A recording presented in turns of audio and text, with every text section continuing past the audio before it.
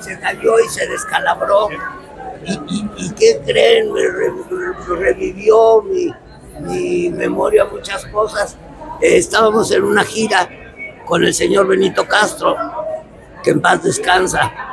Y el señor Benito Castro venía a hacer una, un programa con La Oreja y con la Argentina bellísima, ¿cómo se llama? Una al- altísima. Cecilia Galeano. Cecilia Galeano.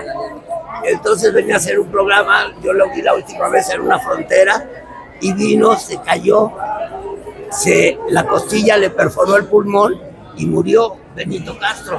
Y ayer en el foro me dicen se cayó este Edgar Vivar y Edgar Vivar fue a esa gira a suplir a Benito Castro. Sí, y entonces yo dije la madre. Y yo que ando con bastón dije la madre dos veces El accidente fue durante la grabación de una en la escena. grabación. ¿Y qué creen? Eh, Digo, pues es lógico, si en la calle hay cámaras, la caída está en un video. Dicen que está paradito Edgar y se fue para atrás así como de película cómica hasta que chocó con el piso y le tuvieron que dar siete puntos, pero ya hablé con él, ya sé que está bien, ya sabe que lo quiero.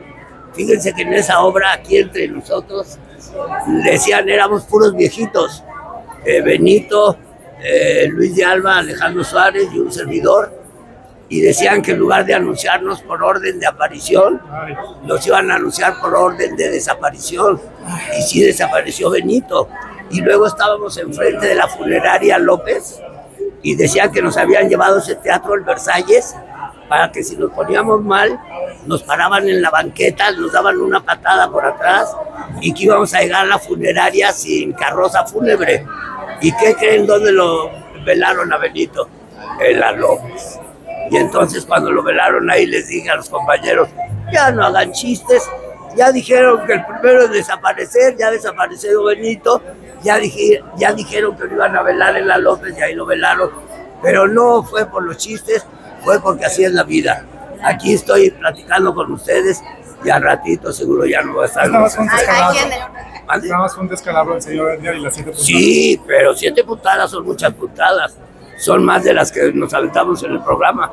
Claro. Y hay, quien- hay quienes bromean con la muerte, señor César, con otros Sí. que le tienen miedo, quienes no. ¿Usted Yo qué no le opina de tengo lo miedo, no, yo no le tengo miedo ni, ni mucho menos. Fíjense que tendría yo, yo siempre pensé que nunca iba a llegar a la edad que tengo, tengo 73 años.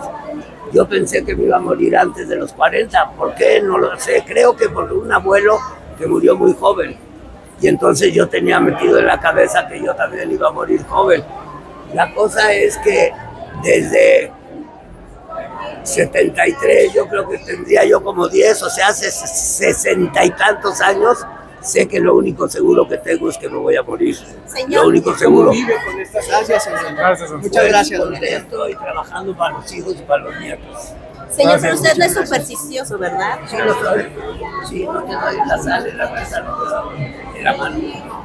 Ok, entonces sí creen